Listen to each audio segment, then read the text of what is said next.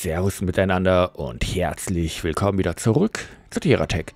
In der letzten Folge haben wir ein paar neue Teile freigeschaltet, zum Beispiel diese Avalance Raketenwerfer und noch so ein Automining-Block, von dem ich noch nicht weiß, wie er funktioniert. Aber ja, schauen wir mal. Ah, hier wimmelt es überall so von Gegnern.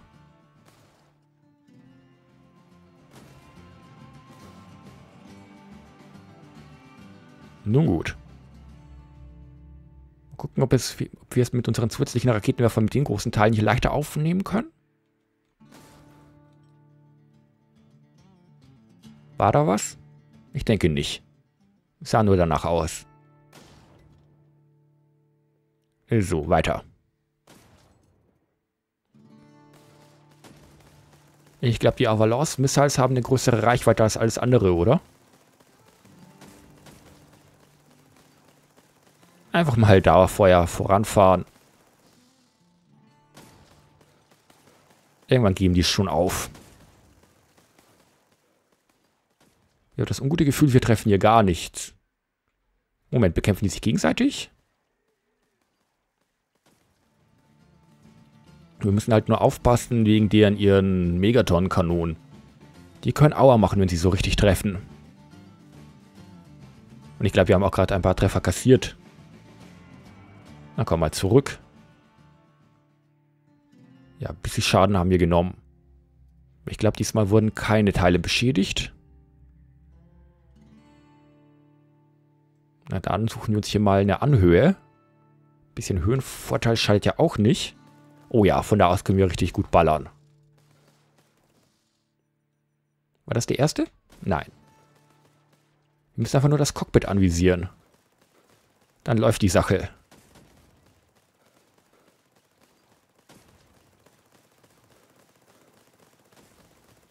Sieht schon lustig aus, ne? Wenn da die ganze Zeit die Raketen abgefeuert werden.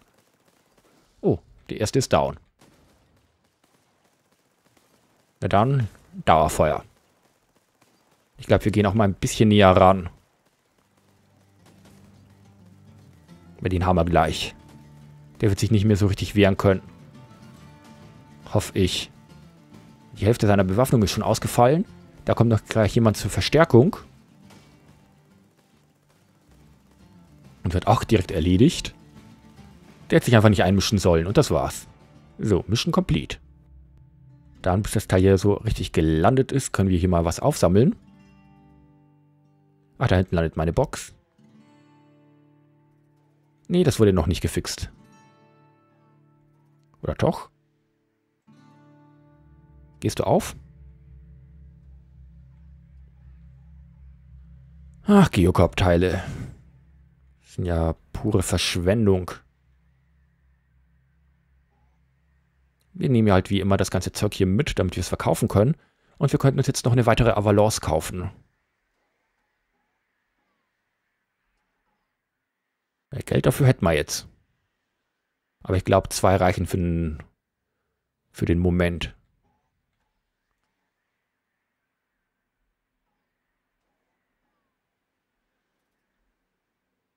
Können wir einmal kurz wenden, damit die Teile auch immer ordentlich eingestapelt werden, äh, eingelagert. Oh, den Dreierblock, den hätte ich gerne. Diese Dreierblöcke kann man nie genug haben. Aber ich glaube, das Gröbste haben wir.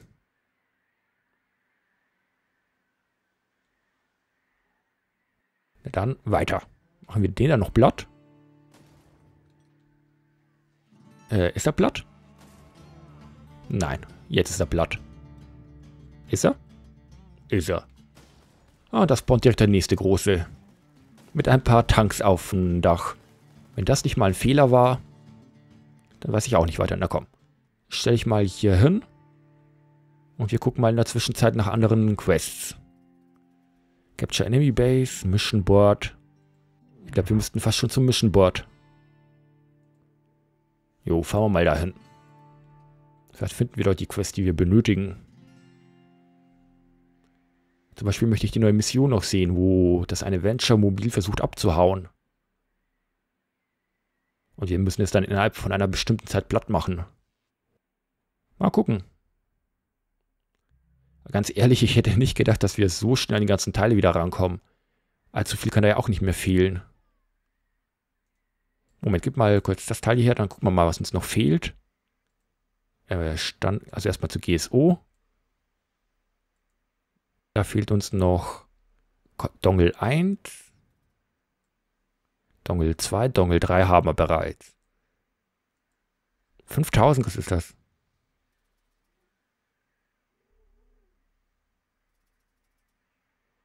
Exotic Component Chunks. Ah. Gut, ich glaube, das ist eher was für die Manufacture. Also für die Herstellung. Nun gucken, äh, mal gucken. Ach, der Ärmste. Äh, Gibt es eine Belohnung für dich? Ja. Schauen wir mal. Gucken kostet ja auch nichts. Das sind ja Venture-Teile, da könnte noch mal was Interessantes drin sein, wie beispielsweise, wie heißen die Teile nochmal, so eine Avalanche-Missile. Mal gucken. Ich spiele hier wirklich mal mit dem Gedanken, unser Main-Vehikel hier flugfähig zu machen. Da könnt ihr euch mal vorstellen, wie viele Tragflächen es benötigen würde, um genug Auftrieb zu bekommen. Hm. Hier in der Wüste scheint nichts los zu sein. Das waren noch Zeiten, wo dir, wenn du einen Meter vorgefahren bist, dass direkt vor dir 500 Gegner gespawnt sind. Oh, guck mal, da ist was. Oder jemand. So, haben wir's? Ich will mal sagen, ja. Da dürfte nicht viel übrig geblieben sein.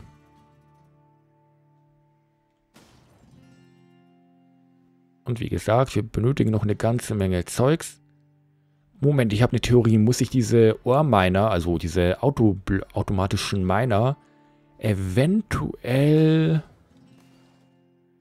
auf einen speziellen Vorkommen platzieren? So wie es mit den Geothermalgeneratoren ist?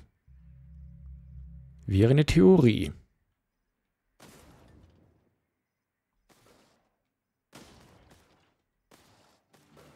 Es in der Praxis auch so ist, keine Ahnung.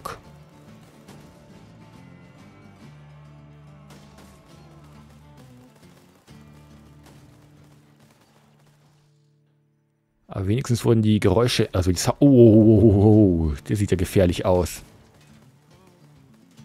Und vor allem hat er mehr Feuerkraft als wir. Nein, Avalanche. Avalanche. Oh nein, oh nein, oh nein. Wow. Danke. Und ich bekomme hier auch keine Energie her.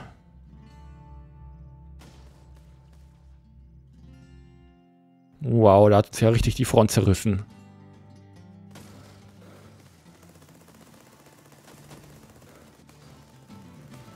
Dabei wollte ich doch nur zum Mission Board fahren.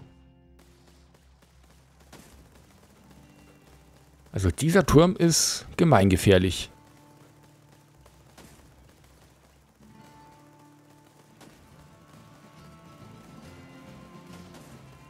Komplett vergessen, dass meine Schilde down sind. Ah, guck mal, wir haben zumindest schon mal die Füße weggeschossen. Und da wir momentan kein Licht haben, haben wir hier einen kleinen Vorteil. Also keine Sonne. Er kann sich ja natürlich nicht wieder aufladen.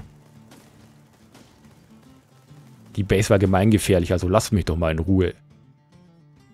Nee, nee, nee. Oh, du hast anscheinend die Base kaputt gemacht. Ja klar, die hat uns auch kaputt gemacht. Eieieiei. Death. Tja, du bist wirklich Death. Auch wenn du falsch geschrieben bist. Death. Naja, weiter. What? Wollte ich hier wirklich hin? Das hier ist nicht die Trading Station.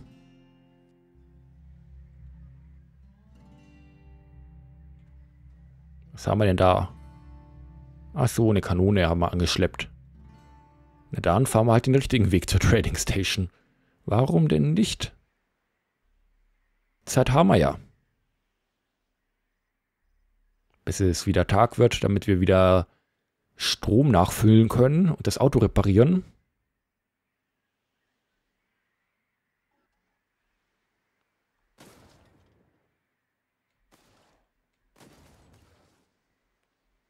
Ich glaube, diese Truhe hatten wir schon mal, oder? Na. Gyoko-Abteile. Es ist nicht mal was Interessantes drin. Na komm, fahren wir weiter. Ich sagte, wir sollen weiterfahren. Bleibt ihr da überall hängen? Ich glaube, jetzt hängt's gleich. Oh, ich glaube, es wird Tag. Ist hier irgendwo ein Gegner? Ach, da hinten. Nun gut. Äh, habe ich eigentlich auch. Ich hatte hier vorne ja auch Cruise Missiles, die sind jetzt weg. Schade aber auch.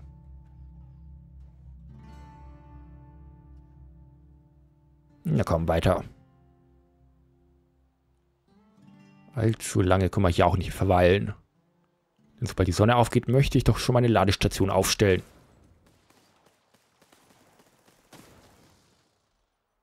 Genau, schön brav den Weg freischießen, damit wir nicht alles wegrammen müssen.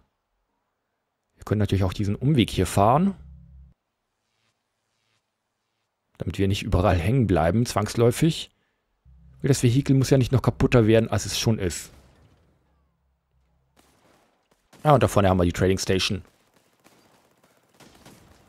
Ja, jetzt fehlt uns natürlich ein bisschen Feuerkraft.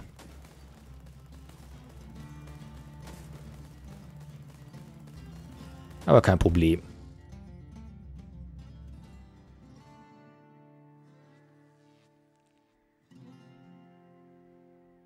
So, here we go. Also bauen wir hier erst einmal unsere Ladestation auf. Die Ladestation war unter Energy, GSO.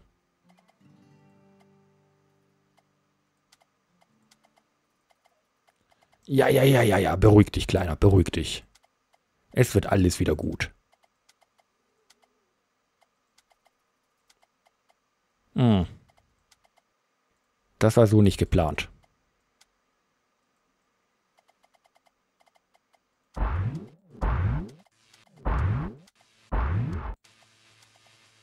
So, dann flicken wir mal die ganzen Schäden. Mhm. So, Hawkeye.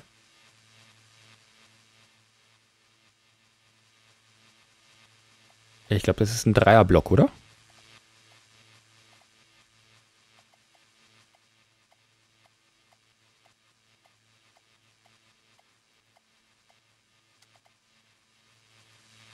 Genau. Die Frage ist, hatte ich da dicht gemacht? Ich glaube, ja. So, dann kommen wieder meine Railguns rein. Von denen haben wir ja nur 106.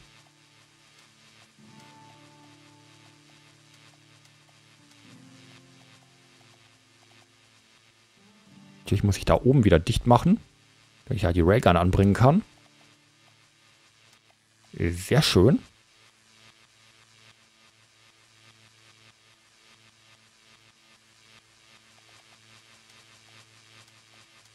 Na komm, bauen wir die mal alle so rum drauf. Ja, genau, selber abschießen. Das ist die Suiz Suizidgun. Ach, die kann ich anscheinend nicht anders drehen. Die kann ich auch nicht anders drehen. Das gefällt mir schon mal gar nicht. Moment. Dann bauen wir dich mal hier kurz aus. Da kommt hier mal eine andere rein. Ah, ich muss es nach oben packen. Dann läuft das. So, ich würde mal behaupten, dass da was fehlt. Waren das Schildblasen? Ich denke ja. GSO, Schildblasen.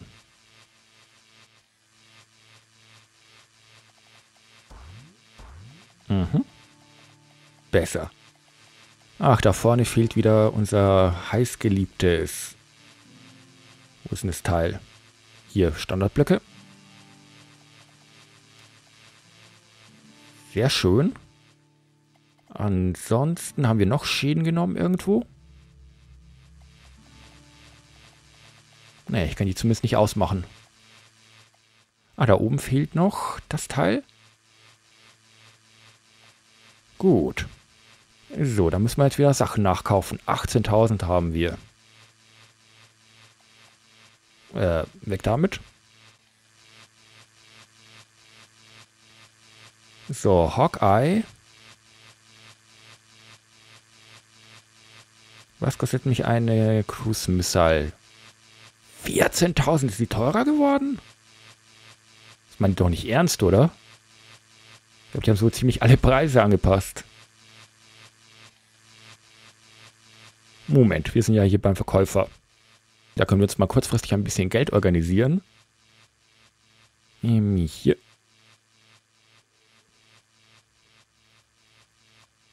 Was bringst du mir? Erstmal gar nichts.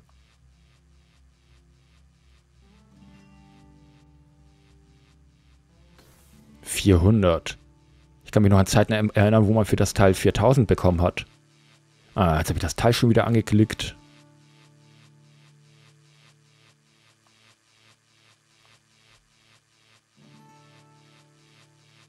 Na, guck mal, da haben wir es ja.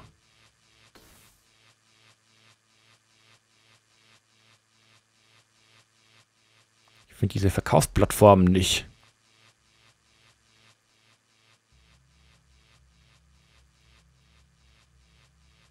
Oh, na komm, saug's wieder ein. Dann schauen wir mal, ob wir eventuell... Nee, im Moment falsch. Den Blöcken soll es doch leichter gehen, oder? Ja, hier haben wir einen Point. Hier haben wir einen Point. 78. Da kann ich halt fünf Jahre lang hier rumstehen. Bis ich die ganzen Teile gekauft habe. Weißt du was? Geh mal hier zu Venture. Nee, du sollst die Sachen kaufen.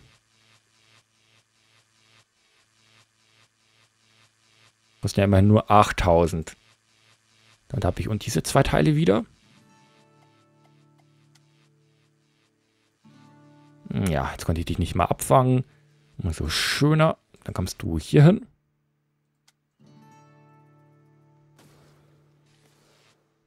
Bräuchte mehr Cruise Missiles, aber gib mal jetzt die Missionen hier. Oh. Delivery Crate up. Nehmen wir mal Venture Jäger 1. Geocorp Jäger 1. Nehmen wir mal alles an uns. Batteriestatus sagt voll. Na dann, aufsammeln.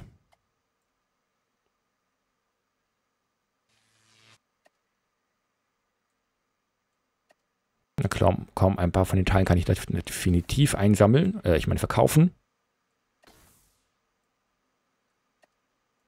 Soll ja nicht unser Schaden sein.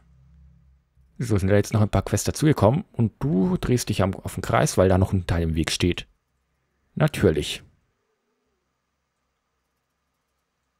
Hm. Dann sammeln wir es eben ein. So sind noch ein paar Missionen dazu gekommen. Dächjäger 4. You are winner. Congratulations, you've been randomly selected in your free prize draw. A delivery crate container. What? Hä? Ich bin ein Gewinner? Nun, ich würde mal sagen, diese You are a Winner Mission sehen wir uns dann in der nächsten Folge an. Ich bedanke mich bei fürs Zugucken, wünsche noch einen schönen Tag und bis zum nächsten Mal. Tschüss.